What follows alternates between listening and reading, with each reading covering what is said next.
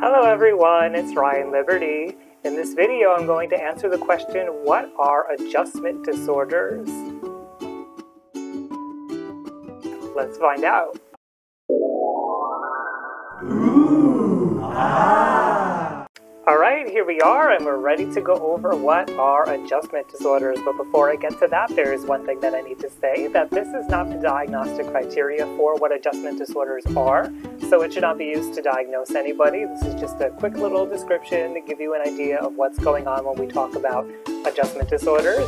And also, if this label of adjustment disorders in any way causes you stress, if it doesn't aid in the healing of you or the healing of a loved one, if it's something that bothers you, you don't have to use the label. It's really just a pointer towards a set of behaviors or a set of symptoms that you may be experiencing.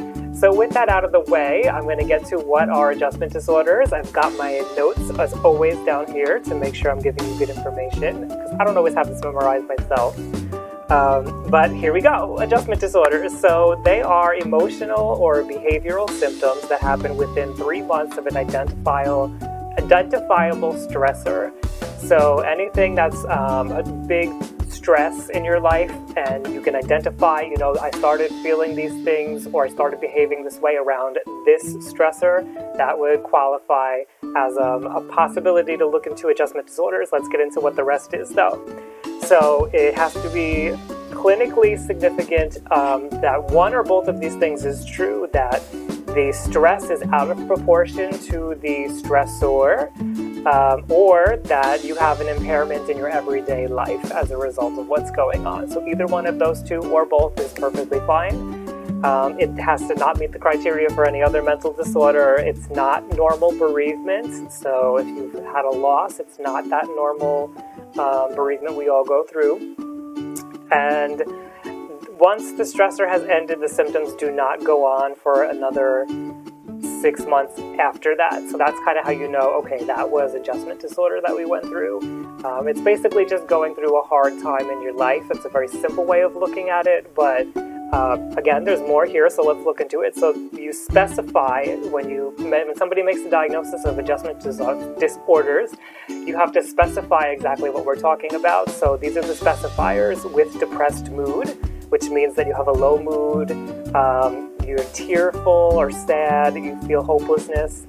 Um, with anxiety would be nervousness, jitteriness, uh, maybe separation anxiety with mixed anxiety and depressed mood, so a combination of the two of those, with disturbance of conduct, so the way that you um, behave, basically, or with mixed disturbance of emotion and conduct, so all of those things wrapped in together, or unspecified if it doesn't really fit into one of those in particular, but adjustment disorder feels like the right fit.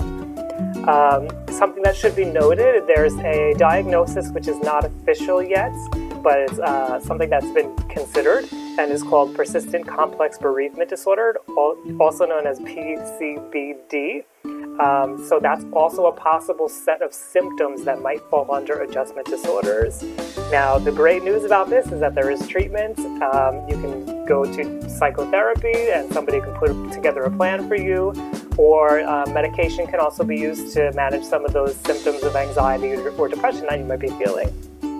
So, what does it feel like to have an adjustment disorder? Well, that's going to change depending on the way that it's manifesting, whether with anxiety or depression. But because it is a trauma and stressor disorder, you may feel a lot of the same symptoms that you would feel under trauma. I have a video for trauma if you want to look that up, but I'll give you some quick ideas right here of what it might look like for you. So in the body, you might feel like racing heart. You may feel maybe a little bit numb. You may feel fatigue. You could have an exaggerated startle response, trouble all kinds of things. For the way that you're thinking, you may have trouble concentrating. Again, those racing thoughts. Um, you may start to think like, well, what just happened? I'm a bad person. I can't trust anybody.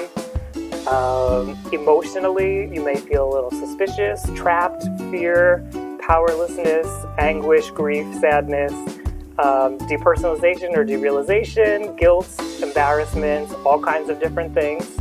Uh, and behaviorally, you're probably going to act a little bit out of proportion to what's going on in the present moment because you're stressed. Um, you may dissociate, you may avoid things, um, you may have a sense of denial, Um, you may get into grandiose entitlement to try to overcome what you're feeling, hypervigilance, all kinds of different things um, can happen as a result of an adjustment disorder. So if you feel like this is something that you're going through, the best idea would be to go see a professional and talk it out with them. And um, they can come up with some kind of plan to get you understanding exactly what's going on and to get you in a healthy, happy place. So thank you for taking the time to learn about adjustment disorders. I'm happy to hear anything that you have to say, so leave a comment below if you feel like this was a good description or you're not sure what's going on, I'd love to hear. So thanks again, and I'll see you around. Hey, it's Ryan Liberty. If you like that video, please give it a thumbs up, share with a friend, and leave any questions or comments down below because that would really help me out. If you're somebody who's gone through a traumatic event and you're feeling cut off from the people around you, I have a free course that will help with that, so please click to get it. And if you'd like to see the rest of my videos, please click subscribe. As always, I want to remind you that your life matters. Nobody can question your worth. However it is that you're feeling, whatever it is that you're going through, it's okay and you are loved. Thanks again for watching.